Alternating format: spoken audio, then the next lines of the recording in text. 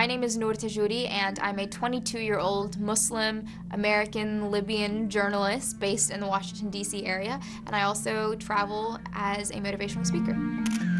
So people ask why Playboy, and I kind of say why not. Um, I don't know why we're going to sit there and, and, constantly say, well, we want people to understand what Muslim American women are actually like, but we're only going to share that with certain people. No, like my message is the same. I didn't compromise anything, and I think it's important to have that um, on the grounds and on on a territory where they were known for objectifying women or sexualizing women, but at the same time, like if my message is to combat the objectification and combat the sexualization of women in our society, um, then what better way to share that message and kind of put it in people's faces than on the front lines of where people are known to do that?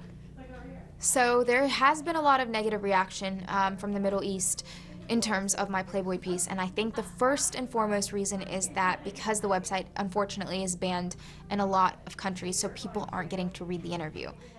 My message stems from where I was when I was a lot younger and I was struggling with my identity. During high school, I was kind of going through this identity crisis and I just couldn't figure myself out. And I was like, hey, I need to figure out a way where I can finally find out who I am as a Muslim American and how those two fit together and how it actually works.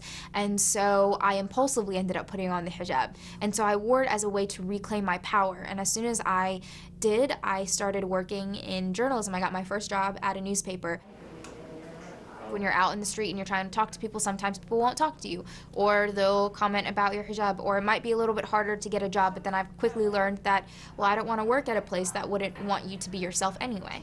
Um, but the plus side and the positive is that people know that Muslim women are often misrepresented in media today. And so when you're approaching a story that's a little bit sensitive, you can share that with them. You can be like, listen, like I know what it's like.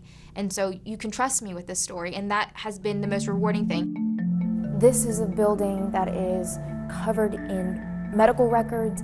Um, right now, I'm pretty much doing everything that I love. I get to tell stories around the country and around the world that I care about, that I think are very important. I don't read the negativity, and I focus on the positive, and I focus on what's next.